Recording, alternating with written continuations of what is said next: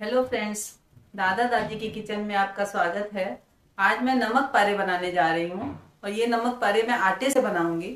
आपको मेरा वीडियो पसंद आए तो प्लीज़ सब्सक्राइब ज़रूर करें और बेल आइकन दबाना ना भूलें। चलिए हम नमक पारे बनाना शुरू करते हैं। इसके लिए जो इंग्रेडिएंट्स चाहिए मुझे, वो मैं आपको बताती हूँ। ये मैंने एक कप आटा लिया है। आधा कप मैदा और एक बटा चार कप सूजी।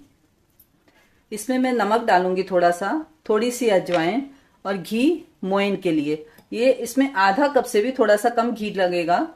ये घी मोइन के लिए है, बाकी तलने के लिए घी हम अलग से लेंगे। चलिए, हम पारे बनाने के लिए सबसे पहले डो बनाएँगे। ये मैंने एक कप आटा लिया है। आप भी जिस भी कप से नापें, एक ही कप से सब चीज़ें नापें। ये आधा कप मैदा।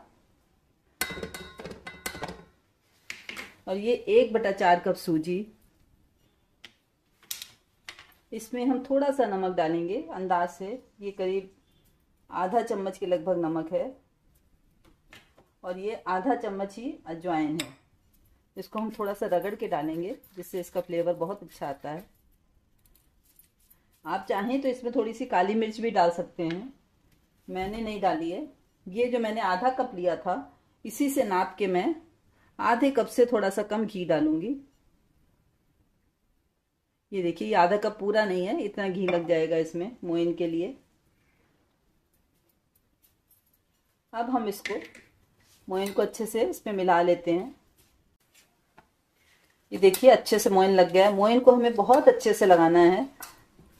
करीब दो तीन मिनट तक इसको अच्छे से रगड़िए, तभी आपके नमक पारे जो हैं खस्ता बनेंगे। अब हम इसको थोड़ा थोड़ा पानी डाल के टाइट गूंदेंगे। पानी थोड़ा थोड़ा डालें। ये देखिए, डो बन के तैयार है। हमको टाइट डो लगाना है। अब हम इसको 10-15 मिनट के लिए गीले कपड़े से ढक के रख देते हैं, क्योंकि इसमें सूजी डली हुई है। सूजी को फूलने में थोड़ा टाइम लगता है। और सूजी की वजह से ही ये बहुत खस्ता बनेंगे। इसको हम 15-20 मिनट के लिए ढक के रख देते हैं। ये देखिए, डो को रखे हुए 15-20 मिनट हो चुके हैं। अब हम इसको एक बार मसल लेंगे। ये बहुत चिकना नहीं करना है। बस, अब हम इसकी छोटी लोई बना लेंगे। अपने हिसाब से छोटी बड़ी, जितनी बड़ी भी बनानी चाहिए। क्योंकि इसके तो हमको पारे बनाने हैं। हम तीन चार लोई बना लेते हैं। हमने पूरे आटे की तीन लोई बना ली है।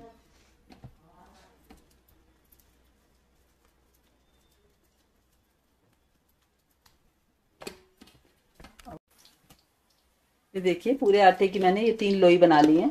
अब हमें इसको बेल रहा है। अगर किनारे निकले हैं थोड़े से तो कोई बात नहीं, हमें तो काटना ही है।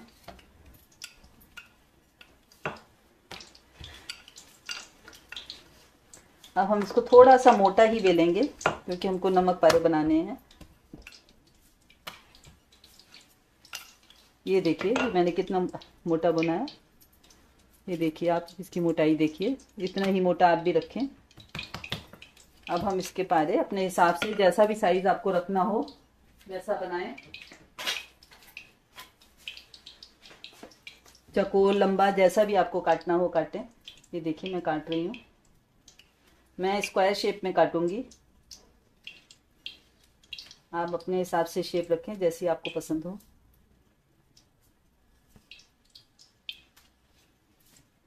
अब हम इसको ये किनारे हटा लेंगे।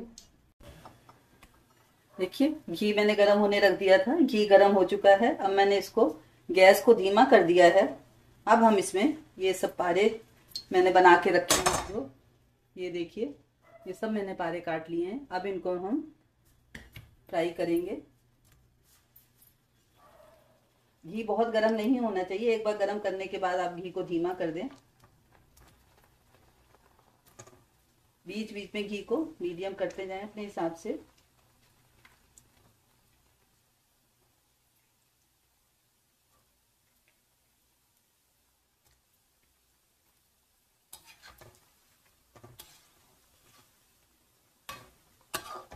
एक, अभी घी में जाने के बाद फ्राई होने के बाद अभी थोड़े और फूलेंगे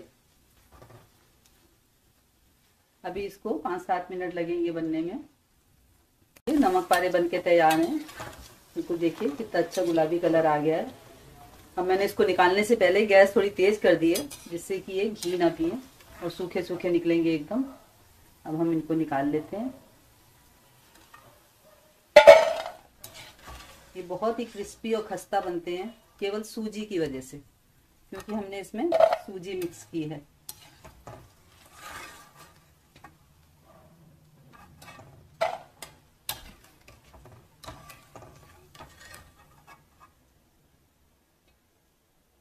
हम इसमें ये जो बचे हुए हैं, इनको भी डाल देंगे। आँच को धीमा कर देते हैं।